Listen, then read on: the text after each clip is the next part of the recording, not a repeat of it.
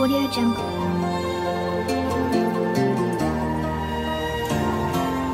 Audio Jungle.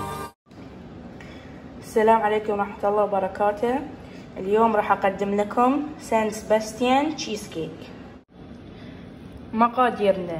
حطيت اللي هو ال cream cheese اللي جبن كريمي وراح أضيف كوب أو 300 ملي كريمة خفق وراح أخلطهم مع بعض. وفي هذه المرحلة من الخلط راح نضيف الشكار بالتدريج. وعقب ما يمتزج الشكر مع الخليط راح أضيف عليه عصير الليمون.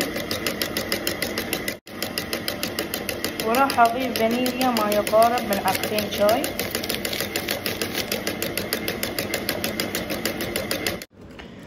عقب ما امتزج عندي الخليط راح أضيف البيض بيضة بيضة. ضروري يكون الخلط باليد.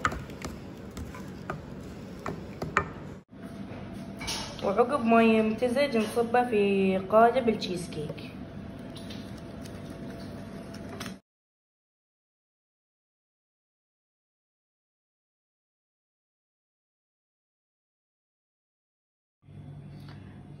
نخليه برا لما يبرد عقب ندخل الثلاجة أقل شي أربع ساعات.